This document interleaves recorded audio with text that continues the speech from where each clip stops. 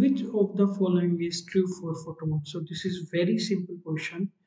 where energy e of photon is equal to h nu which is equal to hc by lambda so looking at options option is the right answer